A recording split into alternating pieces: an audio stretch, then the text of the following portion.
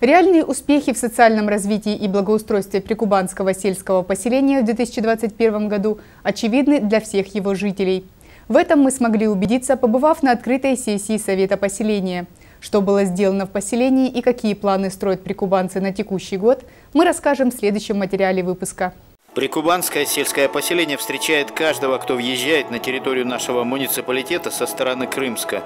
Его население 2356 человек.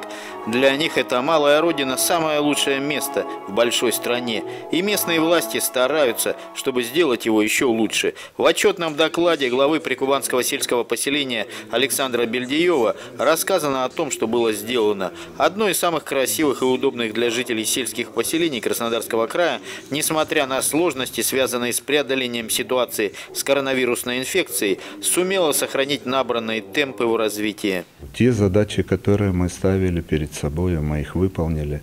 Конечно, при участии, активном участии жителей, активной их поддержке нам все это удалось. И как бы Сейчас наметили новые планы на 2022 год. Те планы, которые мы наметили, и участие в программах, и за счет э, собственных средств, я думаю, мы выполним, и, соответственно, наш прикубанское сельское поселение станет более благоустроенным. Приоритетным здесь считают все, что связано с молодежью, с организацией ее досуга, спортивными занятиями и состязаниями. Это и детские спортивные площадки, и это детские игровые площадки. Их как бы и строим новые, и до оборудования уже существующие. У нас есть э, прекрасная спортивная площадка, тем не менее мы еще в 2021 году новое течение, как бы население поддерживает это, я имею в виду молодую возрастную категорию. Мы построили две э, спортивных площадки с уличными тренажерами. Укрепление бюджета поселения помогает заботиться о благополучии жителей. Весомым подспорьем для решения проблем является активное участие в целевых программах. Вот МТФ-1 мы заменили все асфальтное покрытие всего МТФ-1. Это довольно-таки прилично и как бы и статусность выше жителей, и удобство, и комфорт.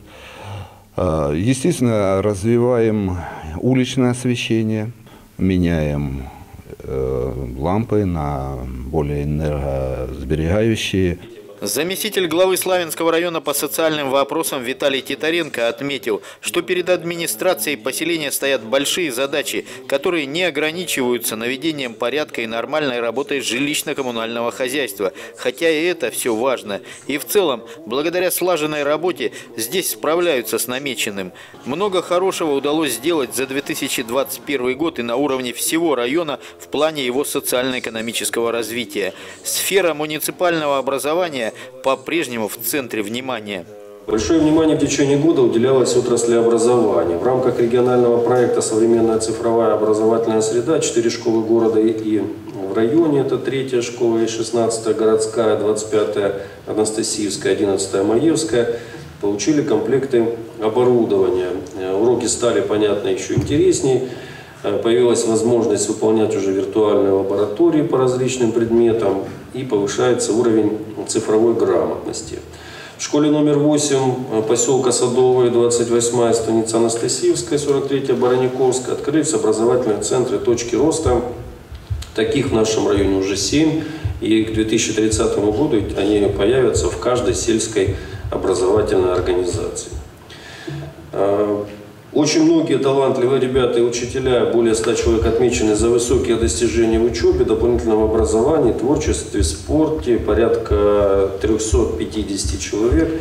У нас э, ну, ребят э, были отмечены высокими уровнями тех или иных наград в разных конкурсах. Затем жители поселения озвучили ряд вопросов, которые их беспокоят. Все вопросы будут взяты на контроль, проблемы еще есть, но они постепенно решаются. Радует взаимодействие местной власти и общественности. Жители довольны тем, как идут дела в поселении. В поселении в последний год очень рост такой значится, сделаны и тротуары, и улучшились дороги, строятся молодые семьи, заселяют дома, то есть перспектива на будущее. В этом году у нас и выросло поселение, родились 20 новых жителей. В этом году мы их чествовали здесь в Доме культуры. Ну и конкретно скажу за наш сельский дом культуры Прикубанский. В 2021 году, конечно, нам удалось улучшить материально-техническую базу. Это мы купили сплит-системы в танцевальный зал для нашей молодежи. Теперь у нас будет не жарко летом. Затем у нас аппаратуру приобрели, и принтер э, такие, что, которые будут улучшать нашу работу. За год э, я вижу и освещение сделали, и асфальт, э, кое на каких улицах сделали, и гравийную нашу дорогу, вот, победу туда в западной части хутора ремонтировали несколько раз. И Громика улицу подсыпали, тоже и с грейдером спланировали. Ну, как бы работа ведется. Конечно, есть улучшения. Безусловно, например, на моей улице, это Комсомольская улица, э, досыпали туда дорогу. Теперь ездить на машинах туда крайне удобно стало. Вот. Э, кладутся тротуары дальше, тоже по железнодорожной улице. То есть не в самом центре, а вглубь хутора. Вот. Хотелось бы, конечно, чтобы еще там дачи модернизировались, но это все со временем, я думаю, будет. А в школе, безусловно, у нас улучшения есть. Нам вот там и спортинвентарь помогают. Сейчас там у нас новую сигнализацию делают. То есть и в школе, безусловно, улучшения тоже есть. У нас очень красиво. У нас есть несколько таких архитектурных строений, там как часы, например, либо сквер. Также у нас везде дороги есть. У нас прекрасный храм. А, у нас э, сами дома ухоженные, красивые. Депутатами Совета и жителями работа главы администрации Прикубанского сельского поселения признана удовлетворительной. Здесь не намерены останавливаться на достигнутом. Работы по повышению комфортности для жителей будут продолжены. Андрей Вишневский, Игорь Ванчугов, программа «События».